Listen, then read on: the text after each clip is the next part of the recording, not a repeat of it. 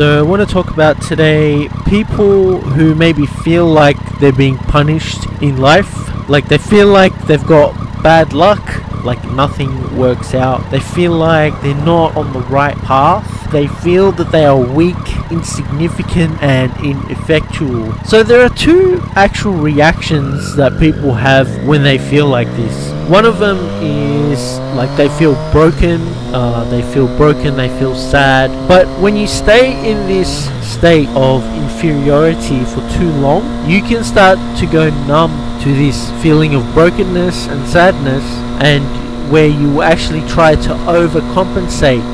You know, for example, if if you feel like you're weak, if you feel like you're a coward, uh, you feel like everyone else is stronger than you, then you will overcompensate by trying to act tough.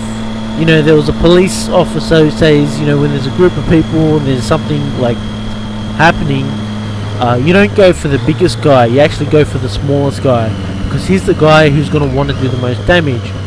The weaker people are the ones that want to overcompensate.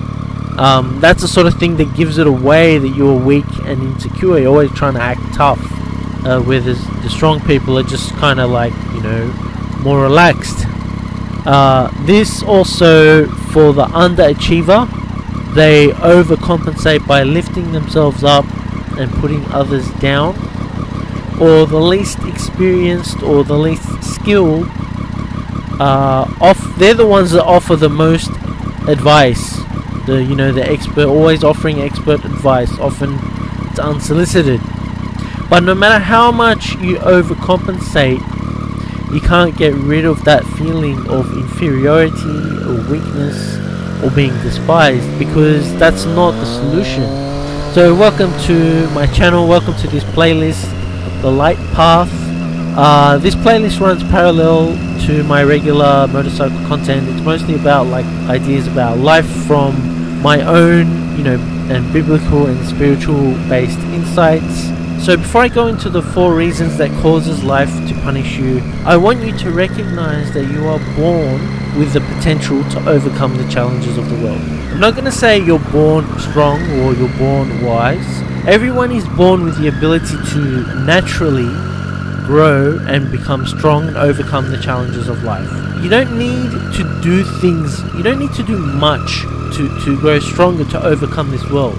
The reason why people become weak is not because you know they're not doing the things to grow strong. It's because they're doing things that poison right? That's how they become weak. And when they become weak they try to overcompensate. They try to work extra hard because they realize they're weak they're falling behind and they try to uh, work extra hard. And even with that working extra hard you're still not reaching to that level. And it seems like other people are getting there effortlessly it's because you are poisoning. You need to stop poisoning your life. It's the poisoning of your life that's making you become weak. If you didn't have that poison, there is not much effort you need to actually grow strong to overcome the challenges of this world. It will just happen naturally. And so uh, I'm going to talk about four points uh, that are causing people to poison their lives, which is making them weak and making them feel like life is punishing them the first thing that you could do that will cause life to punish you is becoming arrogant or being arrogant. The idea that arrogance will cause life to punish you is talked about a lot. I'm personally lucky enough to experience this probably multiple times. As harsh as the lesson may be, it's the best thing that happens in terms of like growth and maturity. Have you ever seen that person who, you know, while they're an adult, they still have that remnant of the childhood personality or you know that pain in the butt work colleague or family member who plays like meaningless power tactics like gets overexcited about winning pointless little games. Everyone else sees through it um, finds it really annoying and wonders where this person finds the energy for their pointless and pathetic agendas. These are the people that haven't been taught the lessons of life and that's why they've still got that like childish brat inside them. But the interesting question that I want to talk about is are these lessons that life teaches you when you're arrogant are they like just are they just like materialistic are they just physical, or is there a cosmic or supernatural element to it? You can say that it's just natural and material and physical. You know, if you're if you're arrogant and uh, you keep messing around with everyone, eventually you're going to mess around with the wrong person, and life's going to catch up to you. But I believe, on the other hand, that there is a like a cosmic or a supernatural element to it. Like God is setting you straight. I made this observation because I've experienced and I've seen, you know, the misfortune, the lessons that life teaches you, usually comes from an unrelated place. You know, uh, you could be being arrogant and, and rude to five or six different people, then all of a sudden, out of nowhere, this dog just starts coming up to you and biting you. It's got nothing to do with actually your arrogant actions, and that's why, you know, I always think about it. Is it, you know, the timing and the coincidence of it? You can't help think that maybe it is a divine act. You know, it's it's God that's punishing you for your arrogance. The second thing that causes life to punish you is a result of karma. I'm not really a fan of using the word karma a lot because you know what I talk about uh, is usually like of a biblical background, um, and the word you know originated from like mysticism, but I use it because it's you know because of its fami- uh, because it's familiar and modern. There's also like um, an overlap between karma and my previous point on arrogance, but the key difference is that arrogance is a repeated behavior where karma is as a result of a one off, a one bad thing that you did. It's less likely that karma will come back and bite you on a direct, like material or physical terms because like because it's a one off doesn't get a chance to punish you then and there. But it could still happen you know that jealous spouse can find out one way or another sometime down the track. And even the bible says you should uh, start running. But when people talk about karma they kind of imply supernatural. It's a supernatural it's a divine punishment. It's a cosmic you know something you've done wrong and you know you're, you're gonna get supernaturally punished for that but at the same time i want to stop here and pull the um, the card from biblical roots, like that Jesus came into this world so that he can give people forgiveness. Um, that is what Christianity is about, is about. That is what the Bible is about. If you've done something wrong, or and if you're truly sorry, right? If you change your ways, if you change your thinking, you know. Some people in the past, like they just do cruel things for the sake of it, for fun, for for no real reason. Who knows what the deep reason is? Maybe it's just inherent evil. Um, and they do cruel things, and that's where karma comes back and life teaches you a lesson. But you have a chance to sort of wake up to yourself. And if you repent, if you truly are sorry, right, you pray to God, then God will forgive you. Karma has no power over you in that situation. The third point that causes life to punish you is double standards. You know, in these like videos that I make, I like to keep it relevant to both like Christian people and also non-believer people. I, I always try to hope that the points that I make are relevant to both. So you could be like an atheist, but still sort of see the value um, in the points that I'm trying to make. But in this point, I will address you know both sides. But I want to first talk about um, the Christian audience being a Christian, from what the Bible teaches you, what church teaches you, there's a certain moral standard that you need to follow as a Christian. Um, and these moral standards are distinct from everyone else in the world who are not.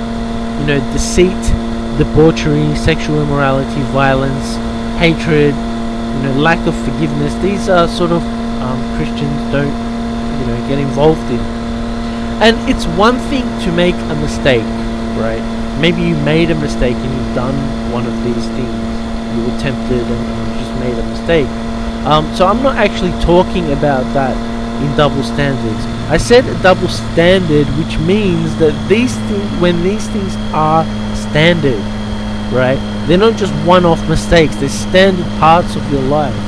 You know, in the Bible, it says, God says to certain people, He says, I wish you were either hot or cold, right? But because you're lukewarm, I will spew you out of my mouth. So God is actually saying, I wish you were hot. To me, hot is like um, full on, you know, devoted Christian. Or cold. Cold means you're not religious at all, you don't know anything about God. God says, I, I wish you were one of them. But He says, but you're not, you're, you're half half. And that is what makes God feel sick. The other thing about um, double standards, like from a non religious perspective, is it just makes you lose trust and integrity. Like pe- pe- people won't trust you. They won't take you seriously. It damages your relationship with people. Um, people start uh, to harbor hatred for you, and that's how life punishes you. Uh, double standards. You could say that some people say double standards like um, creates an internal conflict inside the person, but I actually feel that the worst part of double standards, or the worst part of dealing these people, is I feel that they're not actually aware. Like they don't they don't have that awareness of their own double standard. And and maybe that's the actual problem. That they're not aware of it because if they were aware they would they would stop doing it. And to me it's this lack of their own self-awareness of these double standards which is the worst and most frustrating and sickening aspect of it. The fourth thing that will cause life to punish you is lack of faith.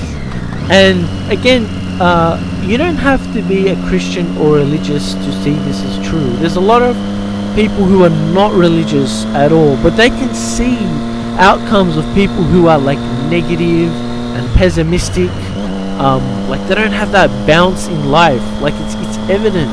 Uh, but again, on for the Christian perspective, even more, right? Where Christians go on their daily lives and they have no anticipation, no hope that like God can intervene, God can change your situation. You know, just this lack of faith in God. Um, that that God can do something unexpected. God can give you an unexpected blessing, or that God is present in your everyday life. There's a lot of Christians that just walk around empty, dry. They don't have that that connection with God, lack of faith. This is what causes life to punish you. And you know, faith is not. I think a lot of Christians don't under, even understand faith. Faith is not convincing. You're trying to convince yourself of something. Trying to convince yourself that God exists. Trying to convince yourself that you know God is going to give you what you're praying. It's not about convincing yourself. It's about wrestling with God. You know, wrestling, knowing that God is there, wrestling with God, keeping on going until God gives you your prayers. Not just, oh, if I just convince myself that it will happen, then it will happen. No, that is not faith. That is not Christianity. But wrestling with God, you know, keep on going back and forward with God. That is what faith is. That is what God wants to see. God wants to see your faith have an impact on your actions. You know, where you forgive someone for no other reason other than, you know, that you, you know that God is there and you know that everyone is flawed. Not because you get going to get anything out of it. It's, you know, faith changes your actions. So anyway, that's all I wanted to talk about today. I hope uh, it was useful. If you like this video, if you like my content in general, please uh, please hit the like button. Please subscribe. Uh, you can subscribe to this playlist as well if you're not interested in my other motorcycle content. I've got the two sort of playlists mixed in this one channel. And make a comment, tell me what you think. And if you are riding a motorcycle, take it easy and ride safe.